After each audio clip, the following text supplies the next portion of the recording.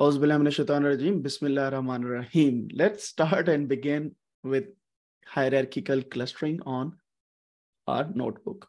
और ये नोटबुक साथ साथ मैं फैच भी करता जाऊँगा केगल उसका मैं लिंक आपको दे दूँगा फिर तो आप वहीं से कोड जो है आज उठा लीजिएगा जस्ट टू सी कि हमारा ये काम करता है कि नहीं करता। होपफुली इट विल वर्क अगर ना काम किया then we are here by the way ये 16 हायरार्किकल क्लस्टरिंग मैंने इसका नाम रखा है। एक तो ये प्रोनाउंस करना बहुत मुश्किल है। खैर, जो भी है we have to work on this और कुछ इस तरीके से नज़र आती है जब हम हायरार्किकल क्लस्टरिंग को देखते हैं। तो अगर मैं इसकी डेफिनेशन यहाँ पे पेस्ट करूँ सिंपली वही चीज़ जो ब्लॉक के अंदर मैंने लिखी है, वो सारी यही है कि ग्रुपिंग करती है डेटा को सबसेट या सिमिलर सबसेट में, ठीक है? ये नॉन पैरामेट्रिक मेथड है that is use when the number of cluster is not known in advance ठीक है? it is also use to find cluster in the data set that is not normally distributed basically इसकी कुछ अजम्पन है what we can do we can think about it later on but now we have to find out कि यहाँ पे चल क्या रहा है और किस तरीके से हम कोडिंग करते हैं let's code together import pandas as P D simply मैं वही काम करने लगा as P D numpy as N P matplotlib P L T seaborn S N S हो गया और हमारे पास एग्लोमरेटिव क्लस्टरिंग यहाँ पे मैंने कर ली। साथ में मैं, मेरे पास एक और क्लस्टरिंग जो दूसरी थी, वो थी डिवाइसिव अगर यहाँ पे आती है तो देखते हैं। डी वाई नहीं आ रही। चले मैं इसको बाद में देखता हूँ। एग्लोमरेटिव यहाँ पे करते हैं। एंड देन हमारे पास जो नेक्स्ट है, हम साइपाई से भी इंपोर्ट करेंगे। इंपोर्ट साइपाई क्लस्टर हायरार्की क्योंकि हमने कैलकुलेट करने हैं फ्रॉम साइपाई एज वेल तो ये कुछ लाइब्रेरीज मैंने यहाँ पे इंपोर्ट की हैं और बेसिकली आज फिर मैं मेक ब्लॉब्स भी लेके आ रहा हूँ यहाँ पे, ताकि from S K learn dot data set import make blobs इससे क्या होगा, हम एक डेटा सेट बनाने वाले हैं खुद से, और फिर उसके हम कोडिंग करने वाले हैं।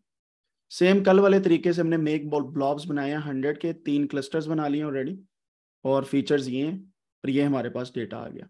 बेसिकली ये वाई ट्रू है, यानी कि जो हमें वाई पता है। हमने डेटा को नहीं देना वाई फिटिंग करने के लिए, लेकिन हमें पता होना चाहिए कि वाई ये तो क्लस्टरिंग का हमने एल्गोरिथम बनाया agglomerative clustering number of clusters अगर आप दे देंगे, तीन बनाने हैं तो आपको पता चल जाएगा। एफिनिटी यूक्लिडियन डिस्टेंस से लिंकेज अगर आप वार्ड की बेस पे कैलकुलेट करें देन इट्स फाइन ये नंबर ऑफ़ क्लस्टर्स आप पहले क्यों दे रहे हैं? उसकी रीजन क्या है? ताकि हमारा वो जो मैंने आपको बताया था ना कि बहुत ज़्यादा कैलकुलेशन ना हो, वो एक सस्टेन वे में हमारे पास तीन ग्रुप्स बन जाए सिंपली ठीक है? अब मैं आपको दिखाता हूँ, बना के फिर इस पर हम गुफ्तगु करते हैं। ये मैंने फिट इन कर लिया यहाँ पे, ठीक है? देन हमारे पास डेंडोग्राम्स का टाइटल आ गया बेसिकली और इस तरीके से हमने डेंडोग्राम का लिंकेज बना लिया एक्स के ऊपर। और उसको प्लॉट में हमने ड्रॉ कर दिया। This is how it works it should work it will take time क्योंकि मेरे पास इसने पहले अच्छा खासा टाइम लिया था बट नाउ इट्स फाइन अगर आप गौर करें तो यहाँ पे हमारे पास कितने क्लस्टर्स बने हैं मेजर जो मैंने बताए थे आपको? एक, दो और तीन। ठीक है? अब आपको दो चीज़ें यहाँ पे नज़र आ रही हैं कि जो हरे वाले हैं, वो मेजर एक क्लस्टर में आ जाएँगे दोनों, यानी कि they belong to one cluster और जो मेरे पास ऑरेंज वाला है विच इज़ डिफरेंट वो सेपरेट आ गया। अब इससे भी नीचे अगर जाते जाएँ तो हर डेटा पॉइंट का मेरे पास क्लस्टर बन के आ रहा है। But we don't need to consider that क्योंकि मेजर हमारे पास तीन क्लस्टर बने हैं। अब इसी को मैं चेंज करता हूँ यहाँ पे मेजर पाँच बनाता हूँ। अब चेक करें। को फ़र्क पड़ा है। समझ आ रही बात की कि क्या हो क्या रहा है? मैं आठ भी बना लू, दस भी बना लू, चले मैं ग्यारह लिखता हूँ यहाँ पे। नाउ लुक एट दैट अब कुछ फ़र्क नज़र आना स्टार्ट हुआ है आपको। रीजन बिहाइंड दैट वो स्पेसिफाई होता गया, लेकिन बड़ा फिर भी जाके एट दी एंड ये यहाँ पे एक सेपरेट क्लस्टर के अंदर जा रही है ठीक है? मतलब मेजर वहाँ पे जाके फिर भी वही होता जाएगा। अब गौर करें हमारे पास कितने मेजर हैं? मैंने ग्यारह बनाए हैं। ये जो यहाँ पे एक, दो, तीन, चार क्लस्टर्स हैं, ये सारे एक ग्रुप में आ गए। ये वाले दो एक में आ गए। लेकिन ये टोटल सारे के सारे मेजर एक ग्रुप में जा रहे हैं ऊपर। अगर हम हर की देखें तो। ठीक है? ज़ाहिर बात है, सभी को तो एक यहाँ पे हम नहीं लगाएँगे ना। तो दो से मेजर ग्रुप स्टार्ट होते हैं हमेशा, जब भी हम डेंडोग्राम बनाते हैं। तो ये डेंडोग्राम इस तरीके से बनते हैं। सिंपली आपके क्लस्टर्स के ग्रुप बना देते अब यही डेंडोग्राम्स अगर हमने फॉर एग्ज़ाम्पल टिप्स के डेटा पे बनाना हो तो हम क्या करेंगे? टिप्स के डेटा पे बनाना है तो हम क्या करेंगे? मैं यहाँ से इसे कॉपी करता हूँ, यहाँ पे पेस्ट करता हूँ। हमने सबसे पहले तो टिप्स का डेटा लेके आना है ना। S N S dot load data set और इसके अंदर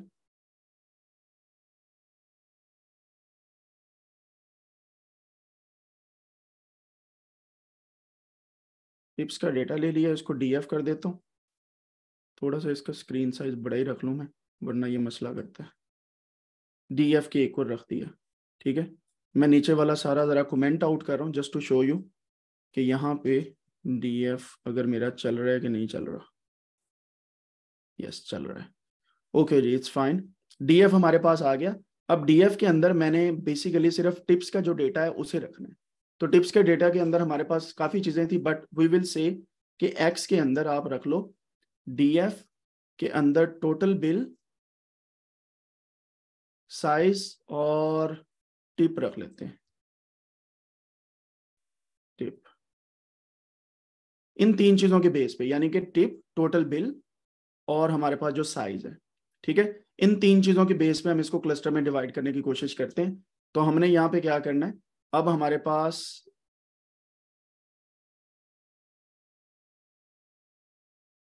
ये हमारे पास क्लस्टरिंग एल्गोरिथम आ गया, ठीक है? इसको हमने फिट करना है एक्स पे। सिंपली वही चीज़ आ गई, कोई ज़्यादा इसमें चेंज नहीं आई और हम डेंडोग्राम भी ऐसे बना देते हैं सिंपली लेट्स सी एक्स की बेस पे। होपफुली इट शुड वर्क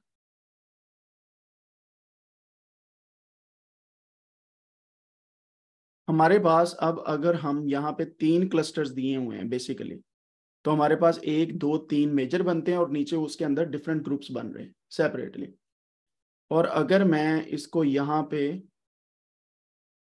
पाँच क्लस्टर देता हूँ लेट्स सी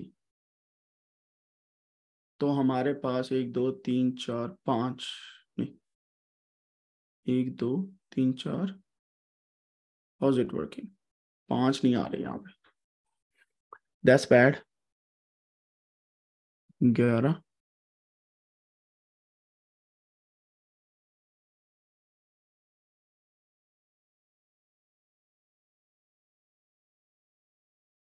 नीचे चेंज हो रही है I think late me see तो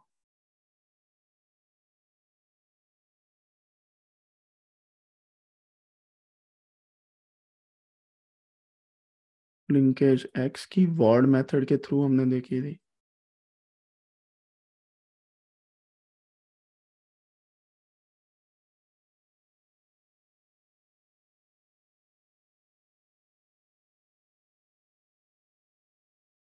मुझे ये शक पड़ रहा है कि जो हम यहाँ पे प्लॉट ड्रॉ कर रहे हैं, ये यहाँ पे पिछले वाले डेटा पे तो नहीं बन रहा? नहीं। नहीं, ये सेपरेट है, ठीक है।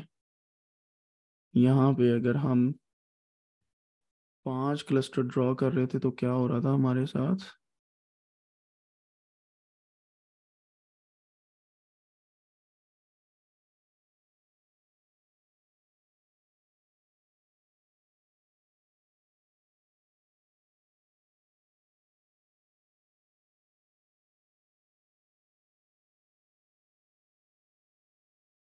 It shouldn't look like this. Let me find out के मसला क्या हो रहा है यहाँ पे। Just give me one second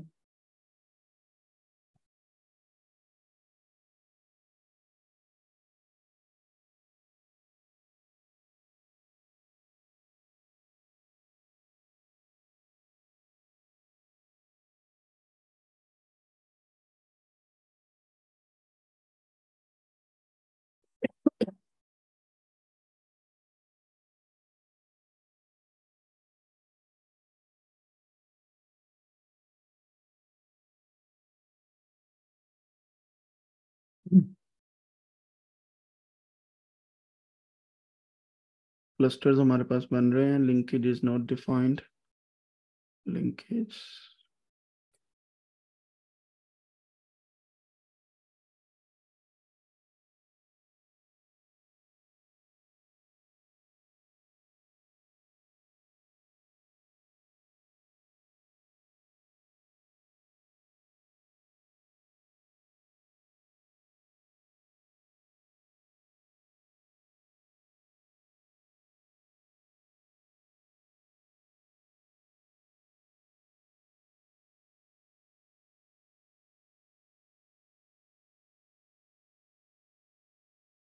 मैं सिर्फ़ ये देख रहा हूँ कि हम तीन क्लस्टर्स बना रहे हैं तो नीचे नंबर ऑफ़ क्लस्टर्स जो हैं वो उतने ही आ रहे हैं या डिफरेंट आ रहे हैं? ये मैंने पाँच बनाए हैं तो ये पाँच डिवाइड हो गए राइट एट द एंड ये डेंडोग्राम हमें बता रहे हैं ठीक है? सो so, मेरे ख्याल से जो चीज़ यहाँ पे चल रही है क्लस्टर्स हमारे उतने ही बन रहे हैं। एट द एंड ग्रुपिंग जो है वेरिएबल्स की उन क्लस्टर्स की बेस पे हो रही है बेस्ड ऑन द थिंग्स जो हम यहाँ पे ड्रॉ कर रहे हैं। तो सैंपल्स हमारे पास ये है, ये इनके डिस्टेंस और डिस्टेंस की बेस पे ये बन रहे हैं। तो हमारा डेंडोग्राम बिल्कुल ठीक है, इसमें कोई मसला नहीं है एट दी एंड लेकिन हम कैसे ये शो कर पाएँगे कि हमारे पूरे डेटा सेट के ऊपर कि किस तरीके से ग्रुपिंग हो रही है? सिर्फ़ ये डेंडोग्राम ही में बताएँगे या कोई और भी सीन हो सकता है? क्या ख्याल है? क्या हमारे हीट मैप साथ बना सकते हैं?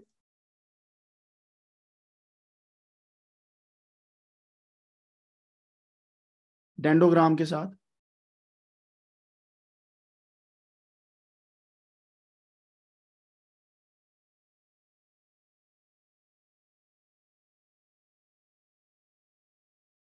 Let's see.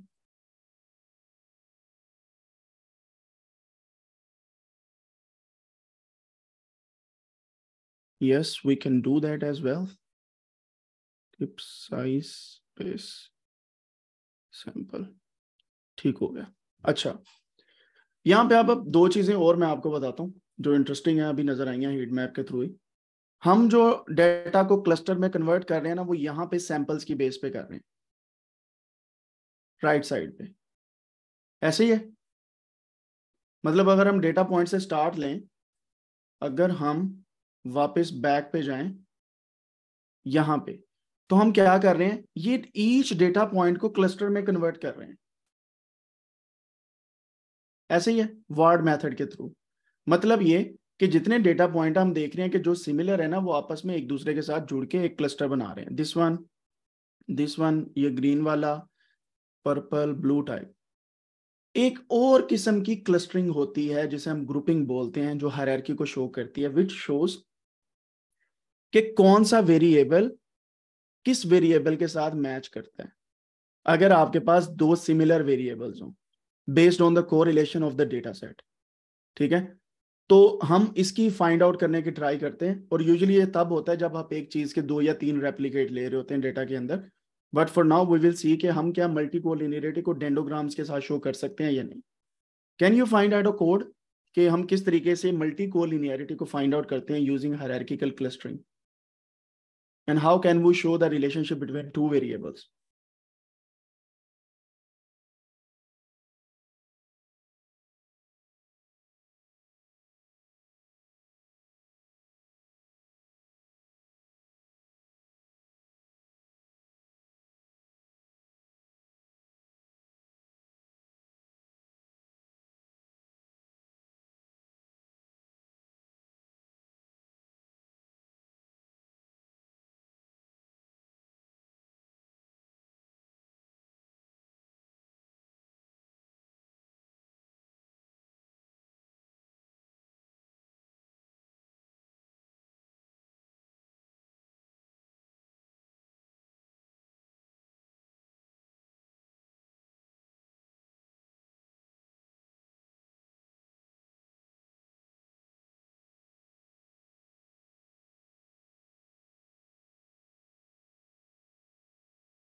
बिल्कुल हम कर सकते हैं, जैसे मैंने आपको बताया, कि हम दो डेटा मतलब फीचर्स को चेक कर सकते हैं कि कौन से ग्रुप के साथ वो मैच करते हैं, यानी कि सिमिलैरिटी किनकी ज़्यादा है और कौन से डेटा पॉइंट्स किसके सिमिलर नहीं है।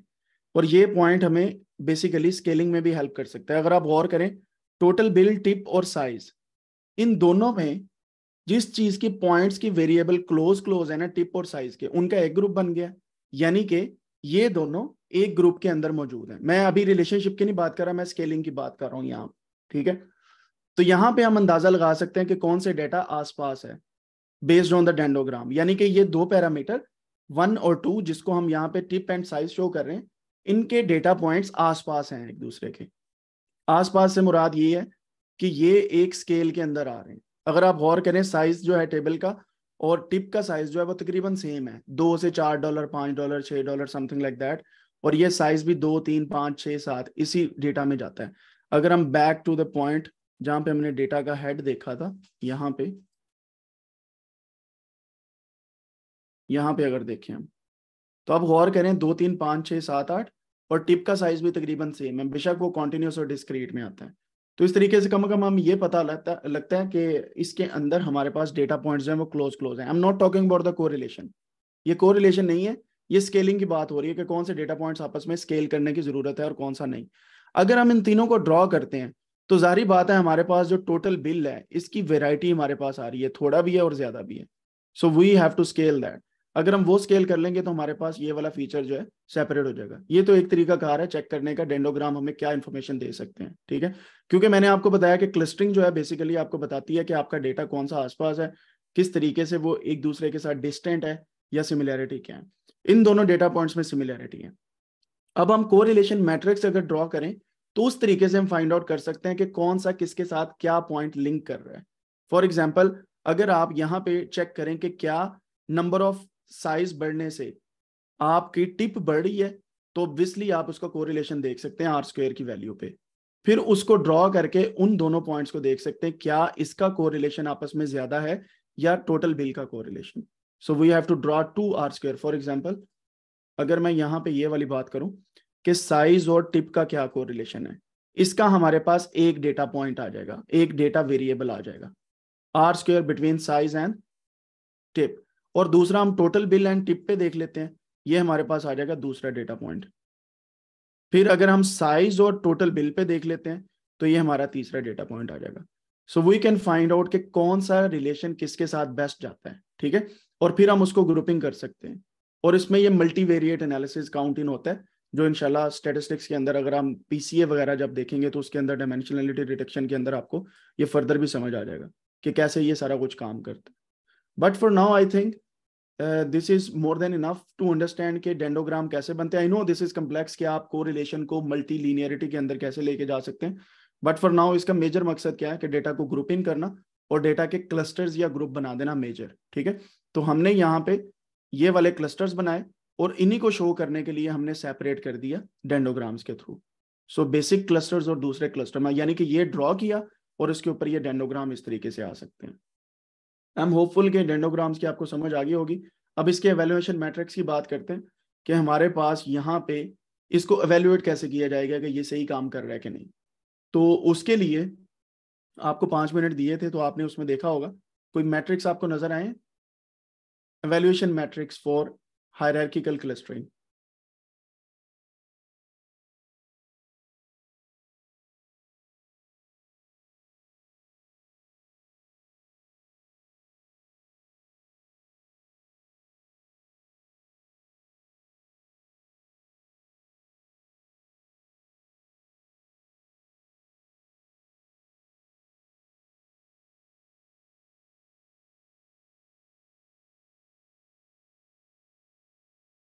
आपको तीन चार मैट्रिक्स में नाम बताता हूँ। आप प्लीज़ उसको खुद से कीजिएगा इस पर एक छोटी सी असाइनमेंट आप भी कर लीजिएगा।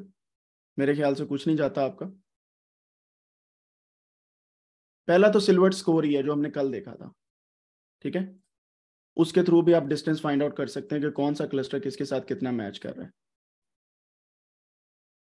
दूसरा हमारा डन इंडेक्स भी होता है। Dunn index D U double N index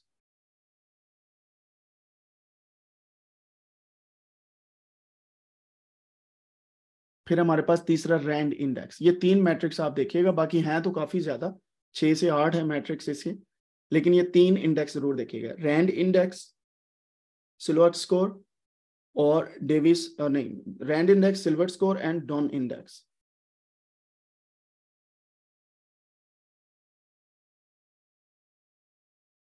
जब मैं कोरिलेशन की बात कर रहा था ना, उसमें आपके पास कोपिहेंटिक कोरिलेशन कॉफिशिएंट भी आ जाता है। कोपिहेनेटिक कोपिहेनेटिक कोपिहेनेटिक लेकिन उसकी मैं अभी बात नहीं कर रहा, मैं सिर्फ़ आपको सिल्वर्ट्स को डन इंडेक्स और रैंड इंडेक्स, ये तीन चीज़ें आप देखिएगा, ठीक है?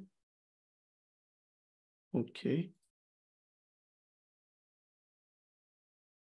सो हमने यहाँ पे देखा अभी कि हमारे पास जो हायरार्किकल क्लस्टरिंग है, ये बेसिकली क्लस्टर बना देती है आपके ग्रुप को मतलब जो डेटा पॉइंट सिमिलर होते हैं, ठीक है? और ये जो हमारी दूसरी क्लस्टरिंग थी उससे डिफरेंट है क्यों? क्योंकि ये आपको हायरार्की भी देती है जिसमें क्या होता है कि आप बेसिकली उसका शजरा सब जान जाते हैं कि डेटा कहाँ से लिंक पीछे कहाँ कहाँ पे जा रहा है। यानी कि ये डेटा पॉइंट्स अगर यहाँ पे सेपरेट हो रहे हैं ऊपर जाके सेम हो जाएँगे। सो so, इससे ज़्यादा इसका कोई काम नहीं है। कोई मैथमेटिकल स्टेटिस्टिकल बैकग्राउंड इसका नहीं है ऐसा कि जो आपको फाइनल न्यूमेरिकल आंसर दे कि ये क्लस्टर ऐसा बन गया ये इतने बन गए इतने नहीं बन गए। एट द एंड आपको सिर्फ़ पता चलता है कि ट्रेंड क्या है पैटर्न क्या है डेटा का। और क्लस्टरिंग का मेजर यही पार्ट है और ये आपको एडीए में हेल्प करता है कि बेसिकली जो ज़्यादा टिप पे कर रहे हैं, वो इतने साइज़ वाले टेबल हैं एट द एंड वो जाके उनकी एक लिमिट आ जाएगी and then we will combine both of them so इस तरह की इससे आउटपुट ली जाती है। अब रही बात के क्लस्टरिंग के से बेहतर कौन सा एल्गोरिथम है डेटा को ग्रुपिंग करने का? उसके लिए सिंपल सी बात मैं बताता हूँ आपको। हर एक फ़ील्ड के अंदर आज के दौर में न्यूरल नेटवर्क छाए हुए हैं। हर एक फ़ील्ड के अंदर। जब भी मैंने जिस एल्गोरिथम की बात की, आपने एक चीज़ नोट की होगी कि ज़्यादा डेटा होगा तो कम्प्लेक्स हो जाएगा कंप्यूटेशनली एक्सपेंसिव है, इसमें राउंड ज़्यादा हैं इटरेशन ज़्यादा हैं। लेकिन न्यूरल नेटवर्क क्या करते हैं? वो पहले बता रहे हैं, भाई, हमने ज़्यादा रिसोर्सेज पे चलना है। होगी बात? फिर वो कहते हैं, हमें रिसोर्सेज दो एक्यूरेसी हमसे ले लो। टाइम दो ऑप्टिमाइजेशन हम करके देंगे तुम्हें। सो देर आर मेथड्स जो आपको ग्रुपिंग करके देते हैं based on the neural network, और इनशाला उन्हें भी हम देखने वाले हैं। और न्यूरल नेटवर्क से भी आगे आज की दुनिया चल रही है। नाम मैं बोलूँगा, बाकी आपने सीखना है, साथ इनशाला मेरे भी, क्योंकि मैं भी, क्योंकि आया ही अभी है इस साल ही तो मैं कहाँ से मास्टर करके बैठ जाता?